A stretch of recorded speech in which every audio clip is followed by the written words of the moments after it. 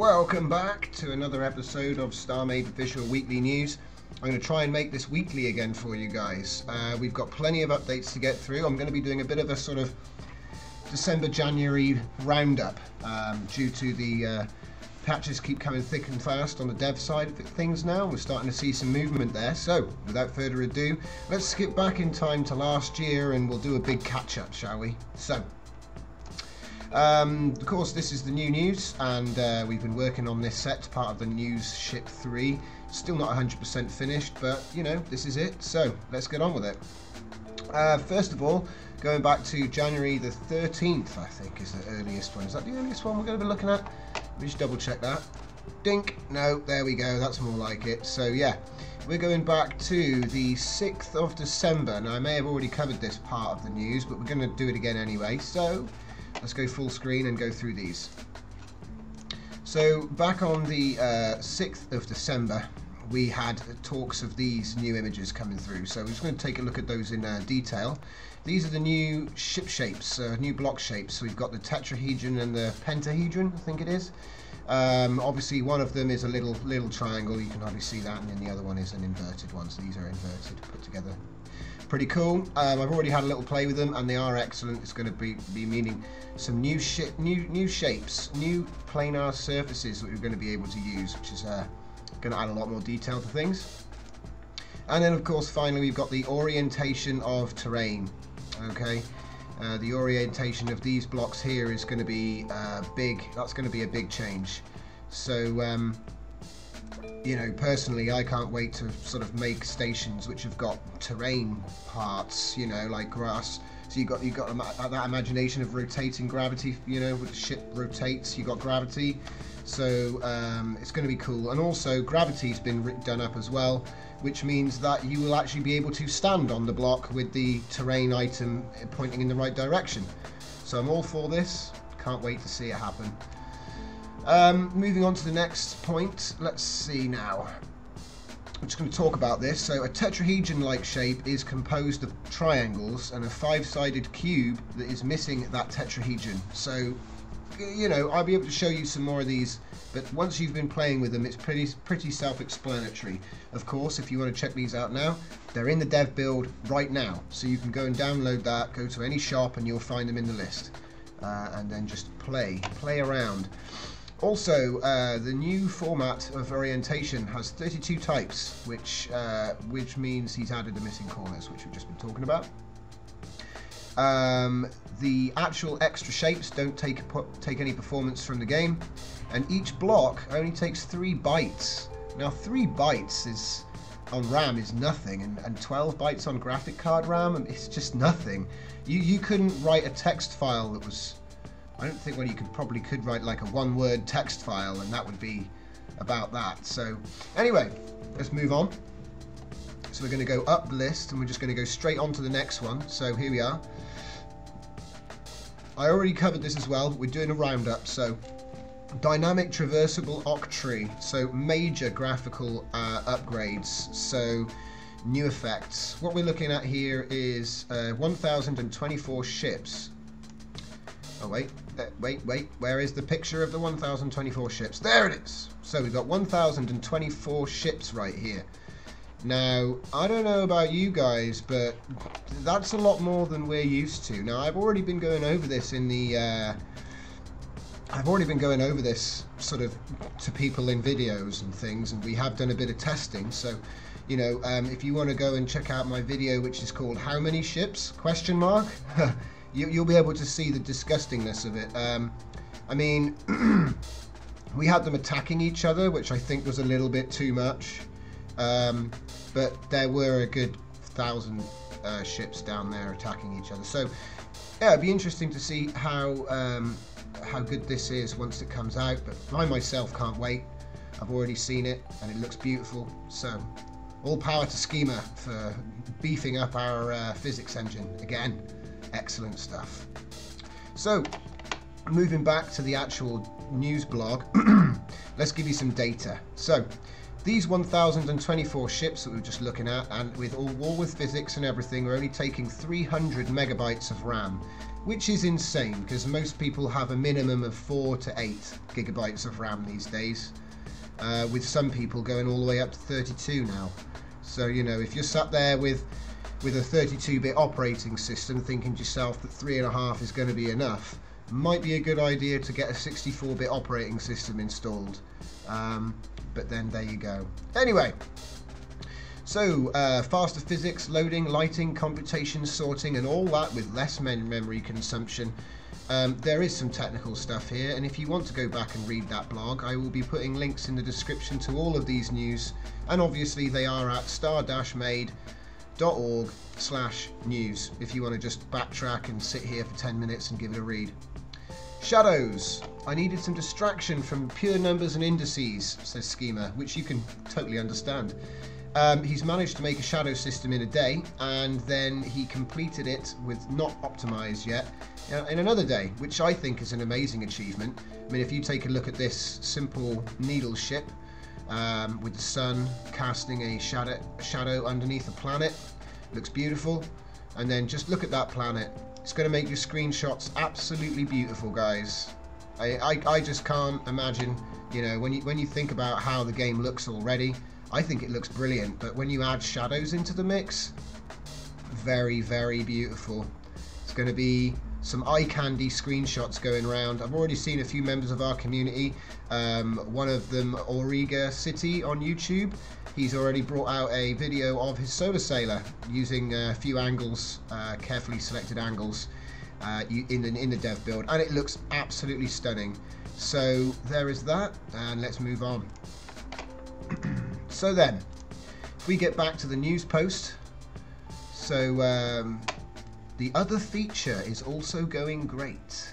Dun, dun, dun. So yeah, we're going to move up. Uh, there was a release about the uh, Lightning Sphere. Um, Yelby and Co. Um, can't can't forget to mention Muzzled Elk. Basically, both of those guys, they're amazing. They were running this PvP tournament very similar to the uh, Thunderdome Obviously, it's called the Lightning Sphere. The concept is very similar, and uh, the rules are very, very similar. So you build your ship, you fight it out in a giant sphere, two uh, 1v1, but I think they do do more than just 1v1. So I went down there once and they had a, a some kind of crazy battle royale going on. Um, but anyway, so there was an event over Christmas, so this was pushed out in the launcher, which is great because it's always nice to see little communities getting a bit of a promotion in the uh, StarMade news in the launcher. So then, moving on. So now we're getting into the sort of um, the meat of the news. So I mean, uh, I'm going to talk about these weapons first. Now, if you notice these weapons here they are, that is the new weapon system.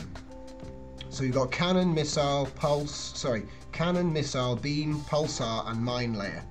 Alright? You'll be able to combine them as a master slave, as shown in this little graph here. Now, if I have a cannon and I connect it to another cannon, it will become a rapid cannon. If I get a missile and I connect it to a beam, they'll be tracking long missiles. That's all the information I have right now. So tracking mode, long missiles. That's, that's the only thing I, I, you know, we've only got what is here to go on. It's pretty clear, but of course it doesn't give us all the information. So there's still a bit of speculation at the moment, but we've got enough to go on here to sort of guess. Now, what I, what I would what I would imagine is that we'll be connecting computers using the C and V buttons that we're currently using to connect computers with uh, cannon blocks, for example, the actual uh, AMC blocks for a weapons computer, the D1000 blocks for the D1000 computer, etc. Of course, the missile block is going to be out. There's three types of missile block right now. There's only going to be one, so that means I don't. I mean, i have heard that you will have to remove your missile blocks. I don't know if that's the case. I mean, it could be the case that they all just turn into this new missile block, but I'm going to assume I've got to remove all my missile blocks.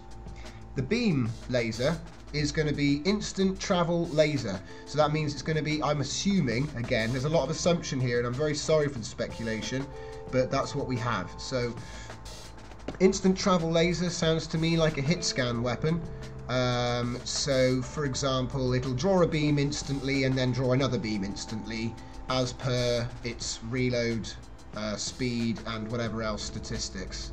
Well, not speed because it's instant travel, but you know what I mean. So when I say hit scan, that means that as soon as you click on something, it hits it. There's no travel time for projectile, like it says instant travel, and it will draw a laser. I'm assuming it'll look a little bit like what we already have for salvage lasers, only this will do damage. Okay? That's my guess.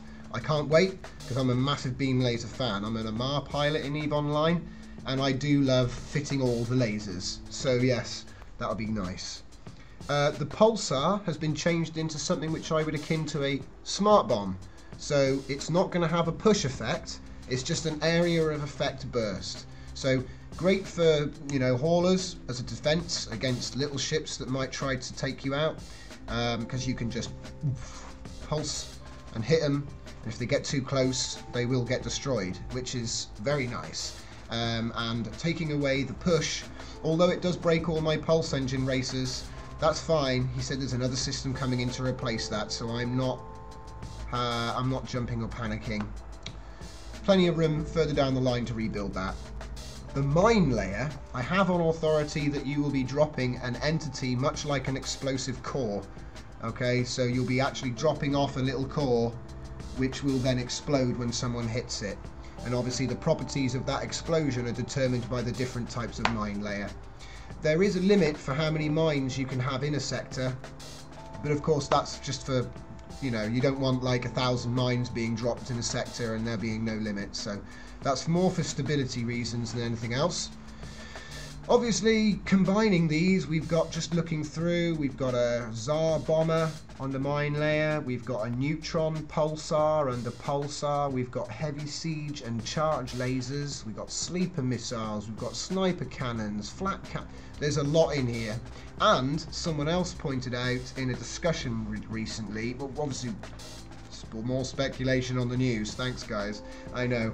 Um, if someone was to add another weapon in, for example, say there was a sixth weapon added to this sheet, then it would be six to the six. You know, so you wouldn't just get, you know, by adding one weapon, you actually get a combination of all new, you know, so it goes up, you get another six weapons. So yeah, uh, I can't wait to see how this goes. But anyway, we've spent enough time on the uh, weapons, so I think we are going to move on. So moving on, we're going to head up the page there is a new website on the horizon, okay? We've heard about it and it's nearly done. No patch yet, we all know about that, but with the looking of the dev, with the way the dev build's currently looking, I, I would imagine it won't be too long. Uh, something to look forward to. Big weapons system. Won't be in the next patch. Will not break your existing weapon systems except missiles. Major balancing changes will occur so be ready to experiment with that. So I mean, uh, if you've been away from the game for a couple of weeks um, or maybe months, I'd say that when this comes, you're going to be flooding back here, if just if only just to mess about with it, you know. So um, that's going to be cool. So uh, we're going to go up the page again. So hope everyone had a good holiday. Yeah, these are out. These are out. Right, there we go. Uh, we did have an actual update this month, which allowed us to do basic changes. Um, like for example, it fixed the way that uh, tur turrets couldn't actually move with the player inside, so that was done. Um, and yeah, like I say, um, the biggest change which is going to be actually useful for everybody is this new change to the docking laser. Uh, but we'll get to that. We'll get to that. So we're going to head up to the next page because I think we've pretty much covered all the news here. Again, if you think you've missed anything on this page, you just go star-made.org slash news and it'll get you straight there. Right, so news flash, 13th of January. This is where that patch came. Uh, this was a hot fix, and I didn't actually do this hot fix because there was a release that rolled it up a few days later, I think. So uh, gravity blocks can be oriented. Uh, this is a pre-release. So that was like for say uh, the gravity elevators. So you can uh, you know use gravity to go up and down, which is cool. Uh, there is a helmet, although no one seems to be able to take it off or put it on. I don't know if this is because it hasn't been implemented or if just nobody's figured out the button. So uh, might be a good idea to find that out. Shadows have been improved and we're going to move on to the next build here. So then, the dev build. Which we're talking about dev builds now, guys. Schema has added a solution for the AI difficulty in the game. So there's now a difficulty setting and you can enjoy easy to mean levels of AI viciousness. A new orbital viewing camera has been added. Simply hold down the backslash key to display it based on the location of your astronaut. GIFs can now be recorded by toggling your pause and break key. The GIF is placed in your StarMade folder, same as your screenshots. A set of settings for GIF recordings have been added to your settings. For now, the settings file is in your StarMade folder. So as you can see here, what we've got here is um, a generated GIF based on the world that this guy was in when he took the pic, when he did the rotation. I'm guessing he hit rotate and then recorded the GIF. So yeah, we've got built-in GIF recording now. I'm hoping that people will start sharing those. And I just want to remind people, if you upload a GIF to Google Plus, Photos, or on the community, it will animate. So or it did last time I did. So uh, please, please give that a try and let me know if you have problems, because uh, that'd be a really cool thing to start a new uh, StarMade animations folder for that. Right then. So moving up. Quick fix.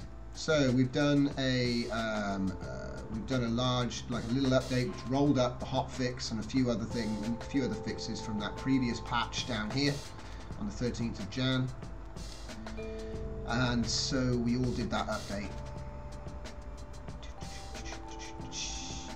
And here we are, Dave and his crew. There's a new asteroid here, and his name is Dave. Where's Dave? There's Dave. Can just about to see Dave, think. Just about. He's kind of up there somewhere. Um, and yeah, he's an animated 3D model and skin created by Keaton Purcell, aka Omnimotus or Omnimatus. Uh, Dave is your default skin in the world of StarMade, but he may be replaced with other skins, including custom helmet skins. He also has a beautiful new world of textures to explore thanks to Tom Berridge, aka Kupu, the creator of StarMade's official new texture packs. That is the cartoonish and realistic texture packs, which I'll be doing reviews on very soon.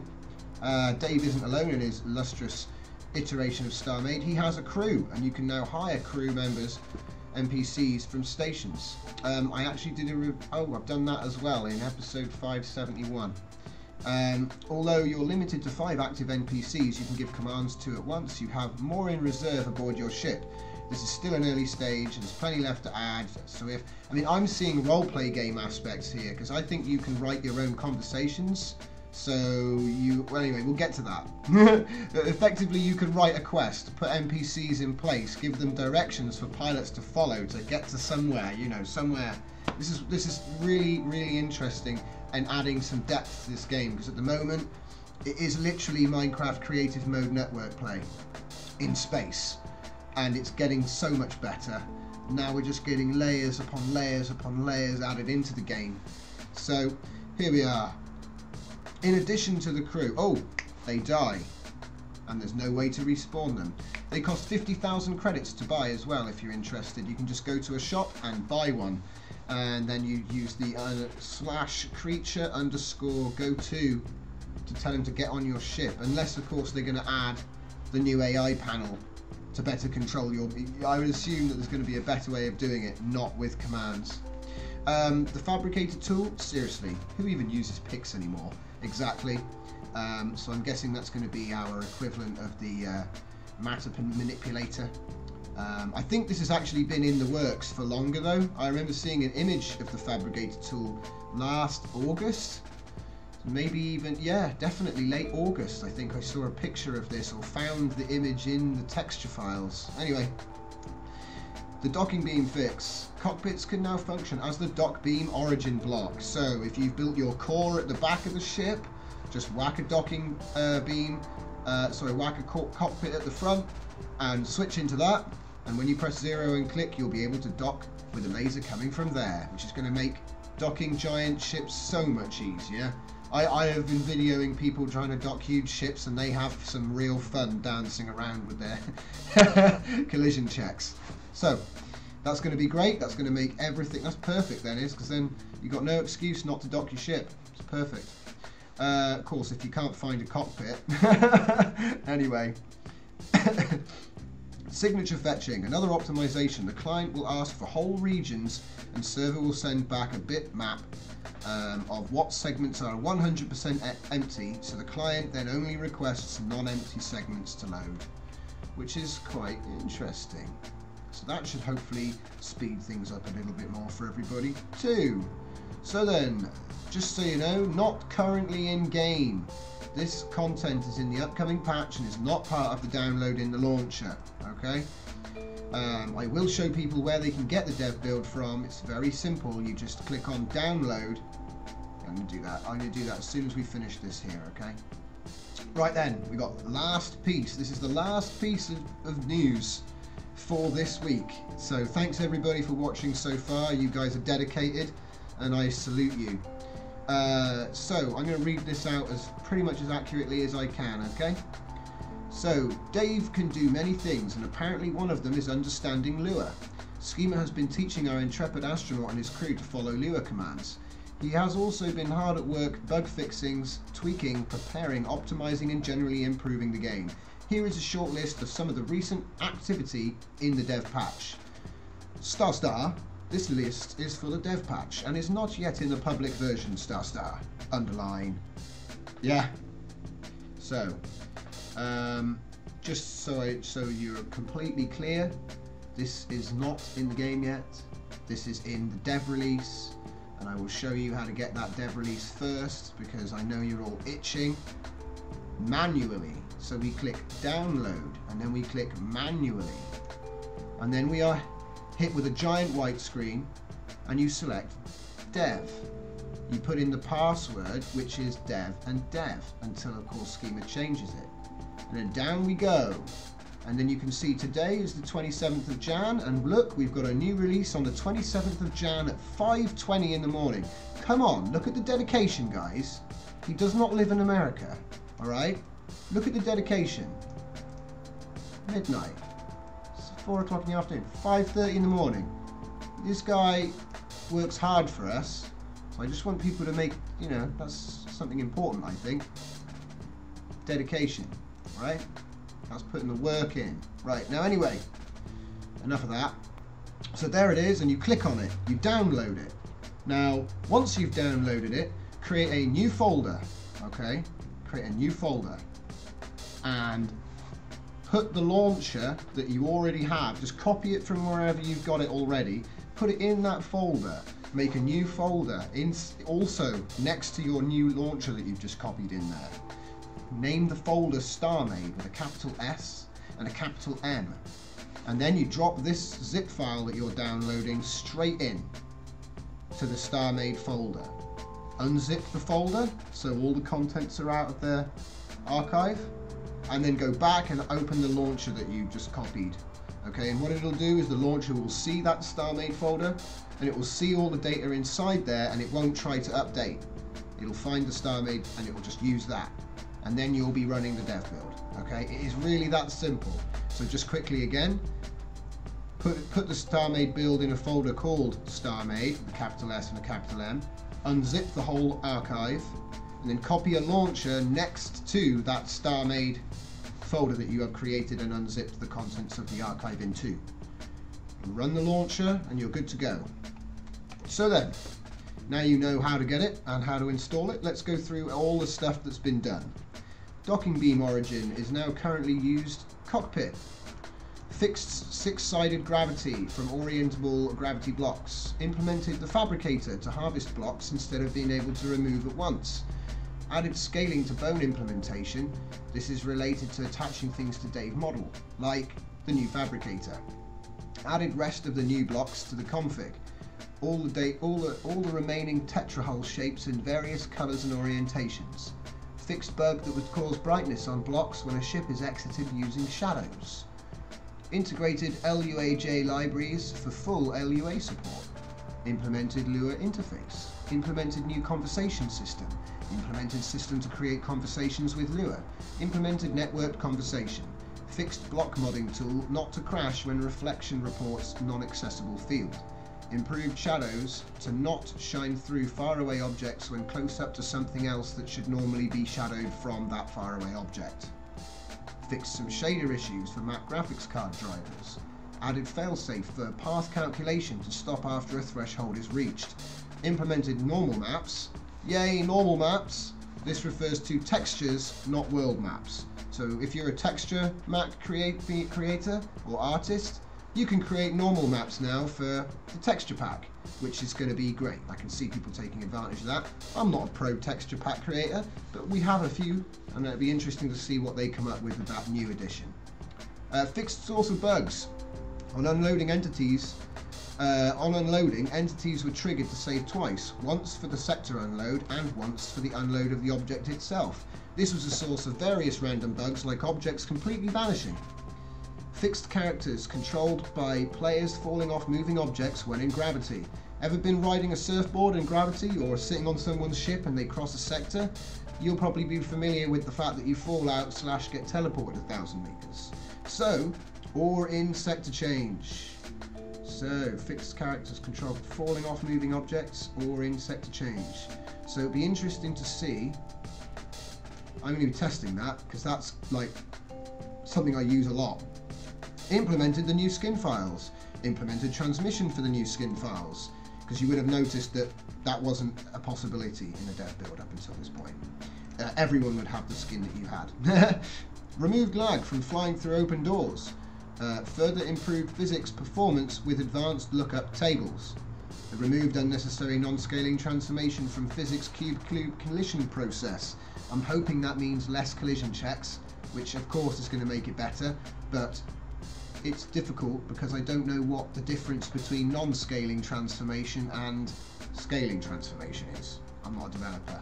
I got a rough idea, but anyway, moving on. Uh, improved performance of single block updates by a lot.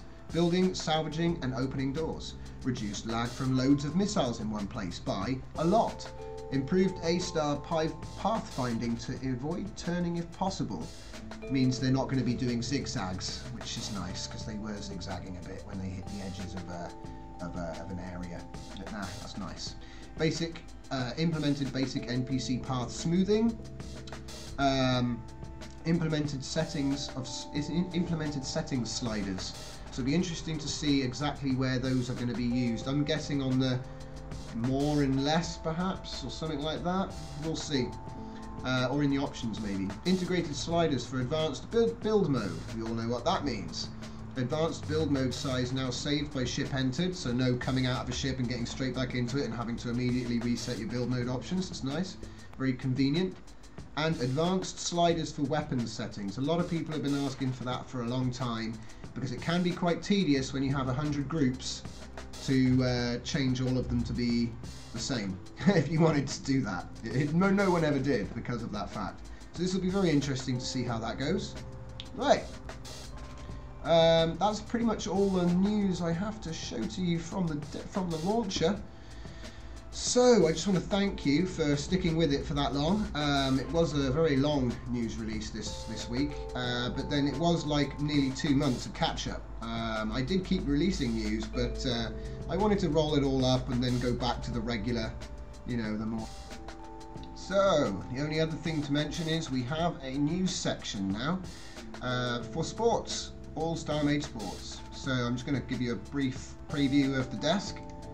So yeah, this is the sports desk, and I'm hoping to do StarMade racing in space, like Zero G, uh, sports such as Zero G jousting, and we've also got the other sports. We've got batting practice and shot put now. Uh, we've also got the uh, skill game with the Ring of Fire. What else have we got? We've also got all the skid racing planets. I think there's about three or four courses of that now. There's also Ender's Game. What else have I seen? Oh, and also there is the Pulse game, Blitzball. We're going to get a Blitzball arena built. Um, and then also, not forgetting, of course, the Lightning Sphere, who pretty much are the premier StarMade sport going down. So, you know, you go liking after the uh, Thunderdome. So I'm going to have, hopefully going to invite some people down from those events to sit. You can see there is a spot there on the right and I'm hoping that they'll be interested in getting involved. So yeah, that's pretty much it. and I just wanted to sort of make you aware that yeah, we've got the desk and we want to do releases and updates on those games, and maybe show a bit of video to people so that they know what they're what it is what it's all about.